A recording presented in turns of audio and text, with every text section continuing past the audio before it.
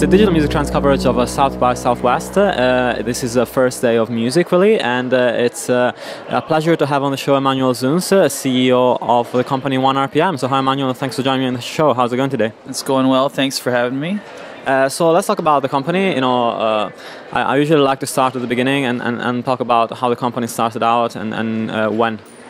Sure. Um, well, we launched in 2010 and uh, we had a focus already on Brazil as our first launch market. Yeah. So I went down in 2010, in July of 2010, to launch the business in Brazil because I knew that um, there was a large market opportunity in that country, um, and so we just really built it from, you know, in a grassroots manner. Yeah. Um, we wanted to launch in the U.S., but we decided that it was a better for us to start off in a in a new market. Yeah uh, and I have considerable background with Brazil, so I knew I know the language, and so I knew I could go down there and do something. I understand uh, the culture, uh, so really started in 2010. But before uh, I had ONErpm, you know, I had a, a, a, small record label that also focused on Brazilian music. Oh, okay, great. Uh, that started in 2006. The idea started in 2005, but the company actually launched in 2006 when I was in New York,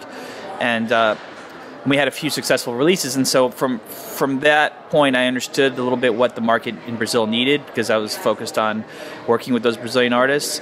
Um, but I was, I've always been in New York, so uh, we had an understanding of you know what was going on in the U.S. and learning from the companies that were successful in the U.S. and applying some of what they had done in the U.S. into new markets like Brazil. Yeah, of course, and, and it's interesting to look at you know starting a company. Uh, that works in music distribution in Brazil because of course there's going to be some things that are different in terms of like uh, both how people purchase music and in terms of how artists uh, you know are used to distributing it. Of course, there's different levels of, of, of uh, tech literacy, I think, uh, in different countries. So, how do you find the experience in Brazil? Yeah, there's a lot of differences, um, and you know one of the things, um, and I think it's not just Brazil. I would say all Latin America kind of suffers from a lack of knowledge of the tools that are out there. The the markets in, in some of these emerging markets, whether it's Latin America or other parts of the world, are significantly behind what's happening in the U.S. or in Europe and hence that's why there's an opportunity. Uh, at the same time, you have an incredible music scene in these countries with just rich rich cultural backgrounds and incredible music that just blows blows me away every time, and that's that's very exciting because we love music. Yeah. Um, so, uh, and you have the dynamics of the market, emerging market economies that are growing as well. Whereas, you know, the U.S. economy or the European economy are somewhat stagnant right now. You have markets like Brazil where it's huge growth because, you know, they're finally really starting to come into their own, whether it's technology, entrepreneurship, uh, uh, you know, increased spending uh, power that they didn't have before. The more middle, more of a middle class. So all these things together you know combined make it into an interesting uh, time to be working in these markets. But the, on the flip side of that, there's they were ignored for so long. The artists and the industry was ignored for so long that a lot of artists don't understand how to navigate the digital landscape, how to release music in this new environment. They still feel a lot of times that you know, maybe getting a record deal is the best way to go. They don't know how to do DIY, do it yourself very well. So the trick in these markets is to educate very much at like what you know the pioneers of DIY and digital distribution did 14, 15 years ago here in the U.S. Companies like CD Baby have always been very good at educating, uh, you know, their artists, and so we're trying to uh, you know, take some of those lessons from those, you know, first companies that came onto the scene and apply some of those practices.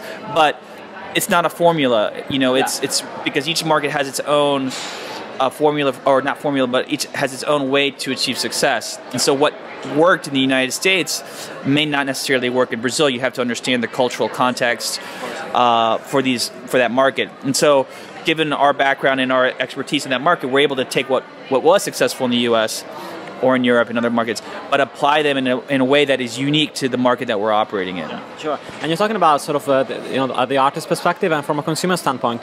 Do you think that almost because of you know the the arrival of smartphones and you know consumers being pretty tech savvy with you know around the world, maybe the consumers were actually ahead of the bands in, in the way they were thinking and adopting music consumption? Um, I'm not sure if that's true. I think that um, you know, for so long in these markets, there were no real services or stores to buy music from. So what happened is that uh, you know people would buy a lot on the mobile phones because that was the only place to buy. So that in that way, yes, you know, there's a high level of mobile consumption in, in Latin America, and that's actually really good, uh, much higher than what's in the U.S. Also, the mobile penetration is higher in Brazil and Latin America than it is in the at least in Brazil than it is in the U.S. There's um, more people have mobile phones in Brazil than they do in the U.S. Surprisingly, um, but on the other hand, because there were no services, no platforms to, to really sell or deliver music to, um, most people didn't buy music. You know, they would download it from free sharing sites, free you know file sharing sites like RapidShare or 4shared, and that became the norm of digital distribution. How am I going to launch my music? Well, I'm going to put it on this site for free, and everybody can download it. And I don't know who's downloading my music. I don't know what's, you know, I don't retain control over that process. And I think that's a significant problem right now for those markets.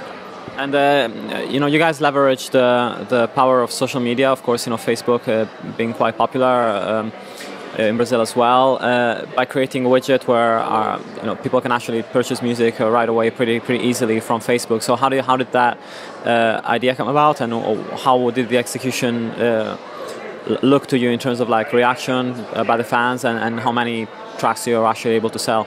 Yeah, you know, it's interesting because the, the Facebook app, you know, we have U.S. artists that use it as well. We have big U.S. artists that use it as, relatively big. I'm not talking about superstars, but we have you know artists with a significant fan base in the United States and, and, and as well as in Brazil that using this application to sell music on Facebook. And people aren't really buying music on Facebook right now, whether it's in the U.S. or in Brazil. Uh, if you offer it for free, then they're more apt to download it. Um, and we, we have a mechanism which you know requires an email address and it's it's actually really simple because it's uh it's using Facebook Connect. So we pull the email address from the Facebook. they don't, excuse me, they don't have to type anything, and uh, that actually is working out really well um, because for us, you know, we because we're a platform that is for artists, but we also have a place for fans. We're getting a lot of fans signing up to our service, and then we understand what their tastes are, right? And so we can then recommend music to those fans who have downloaded music for free on the Facebook app. We can then recommend later music that they might want to buy, whether it's on iTunes, we give them the link to iTunes to buy. So in that sense, it's very useful, um, and I think people really like our Facebook app. Um, but it's not making money, but it's helping in other ways, in not only in the U.S. or in Brazil, but everywhere. So I think it's it's it's more of a it's not so much of whether people want to buy it because they're in Brazil or in the U.S. I think it's it's an issue of selling on Facebook. I don't think Facebook is it has become an e-commerce platform, and I'm not sure it ever will be at this point. You know, it's been several years that people have tried to be tried to sell stuff on Facebook. People don't want to buy stuff on Facebook. That's not their choice. Yeah. Sure. And uh, uh, talking about uh, you know the, the, the plan of you know the company and, and, the way it operates in terms of, of a business. It's got a quite interesting setup in the sense that there are no yearly charges. There's a one-off setup fee for, for an album. And uh, and and then you take 15% of the top on, on, on, the on the on the royalties that are, that are generated. So uh, how did you come up with that strategy, and, and how do you feel that that differentiates you from from the rest of the of the distribution companies? Yeah, you know, there's uh, we the type of company that we want to be. And that we are, but that we want to continue to be as we grow, is we want to be a company that's really working in partnership with the artists. Hence, we want to have a vested interest in whether they're selling music or not. Uh, the other way to go is, you know, have an annual fee and then you don't take a commission off the sales. But I don't know if that aligns our incentives with the incentives of the artists. So we really want to be a partner with the artist's success, and that means that okay, if it sells, we get a cut, but we also, if it starts to sell, we pay more attention, and then we try to promote it more. So there's a whole aspect of the marketing that comes into it, and that's that's because we're really passionate about music. There are other services out there that are fine, and there are good services that don't take any cut off your sales, but they also aren't going to help you in the marketing. They're not going to be there for you. It's just strictly a delivery service. And there's nothing wrong with that. And I think at the end of the day, the artist has to make a choice as to what kind of service they want. Do they want a service where they have, you know, they can they have some engagement engagement with their with their distribution company that they can rely on, that they know that the incentives are aligned? or do they just want you know I, I know by myself i can sell a million units i don't want to share anything with you guys because i'll make more money that way. And that's that's a choice. At the end of the day we think that our value by promoting artists even if they're already selling on their own but for us to also help with that whether it's getting them a feature on itunes or getting them something on Rdio or spotify or whatever i mean we feel that that really adds value and and you know we need to get paid for that. So um, so i think we that's just kind of the, our philosophy, and that's why we want to make money.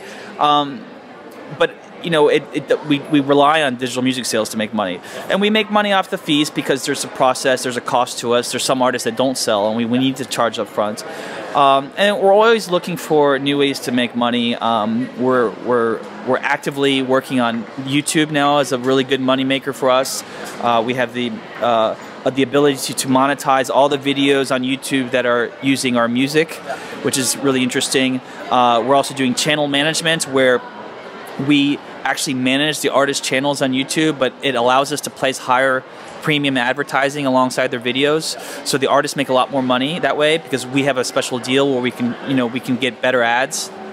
So there's, you know, we're looking into sync licensing. There's all kinds of other things that we're doing, but the, the basic business is distribution and selling units. Yeah, and how do you feel about, um, you know, still image videos and lyric videos? You know, I know a lot of people are recommending artists to put those up on YouTube uh, to increase views and, and generate uh, some extra cash because actually people do, do, do view a lot of those. Uh, yeah. So do you encourage your artists to do that? Yeah, definitely.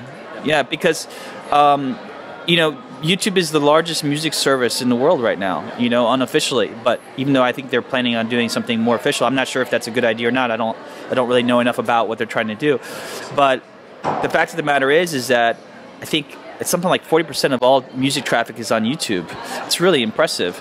And it's open to everybody. And what we like about YouTube is that it is free for the fans, pretty much. It's ad supported, but it's free to the fans. But artists can can do really well on YouTube if they know how to use the services. The thing is, it's actually quite complicated to understand how to maximize YouTube's potential, and so a lot of people, uh, and there are different types of partnership, you know, structures.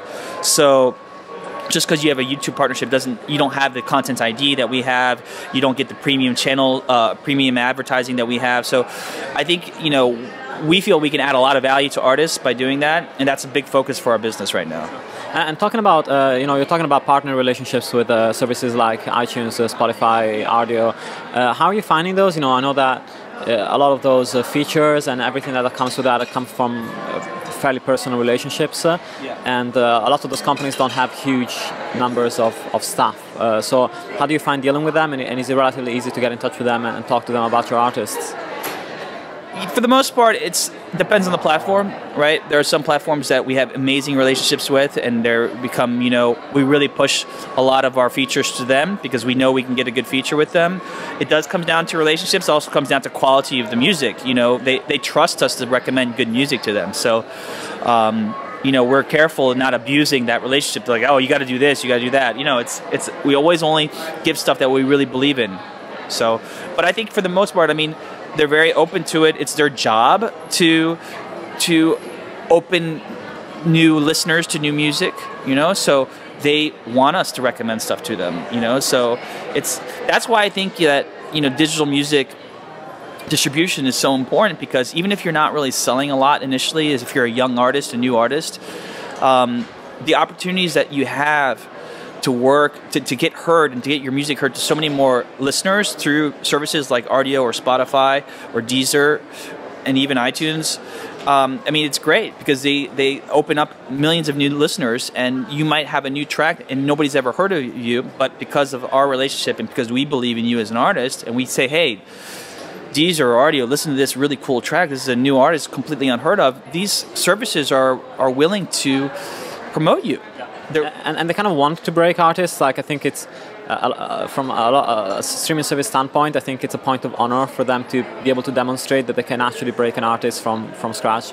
I think so. I think that all of these people who work in these companies, these music service co music companies, I think a, a, a, whole lot of them are very passionate about music. You know, otherwise they wouldn't be there. And I think at the at the end of the day, you know, there's the one business which is selling, you know, the pop stars and making sure they move a lot of units but there's the other aspect, which is you know rooting for the underdog. And you know, I think that's the best part of the of what I like to do is take an unheard artist who's got amazing potential and get them a feature. I think everybody's happy, even if we're not making a lot of money off those artists. It makes us feel good about what we're doing. Of course. And I wanted to end by asking you about uh, the startup community. Of course, you've experienced. Uh, uh, the startup community both in New York, uh, where you know it's it's exploding, and in the last six years, really since the financial crisis, there have been so many startups that have come up, and you know a, a real community that has, has, has, happened over there. I was just at the General Assembly event for the Made in New York uh, earlier this week, and. Uh, uh, and how does that compare to Brazil? Is there, you know, a, a strong technology startup community in, in, in São Paulo, or how, what's happening over there? Um, you know, I I think that the startup community in Sao Paulo is getting stronger. I'm not that familiar with it because I don't really live in Sao Paulo. I go there for three or four months out of the year, and I'm usually just focused on my business.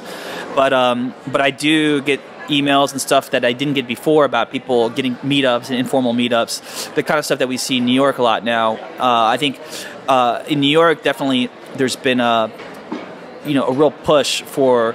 Uh, and, and, and, I think the city supporting you know the new startup uh, community. There's a lot of um, uh, incubators and stuff, and uh, you know, I benefited from going to New York in 2006. When I went to New York, well, I moved to New York in 2005, but I, in 2006 I won the business plan competition at NYU. That's that's how I launched my first company, and I got so much support from the New York community. It was amazing, you know. So there's a lot. It's a small small community still, but it's definitely very very supportive. So I think in Sao Paulo, it's it's I have less to say about it because I don't know it as well. But I do see that there's a lot of technology companies in Sao Paulo that are looking at the U.S. and saying that's a really cool idea. So you know when Groupon launched uh, in U.S., there started we started getting copycat companies in Brazil, and um, when uh, Kickstarter became a huge success, we have now three or four Brazilian Kickstarters. So I don't. Perhaps what I'm seeing is a lot of copycat companies, but they they do it a really good job. Yeah. Well, it was great talking to you, and I would recommend everybody to go and check out uh, onerpm.com and uh, see if, uh, and of course, if you're an artist and you need a distribution, go and check it out and see if that's uh, what what you need. And thanks so much for your time. My pleasure.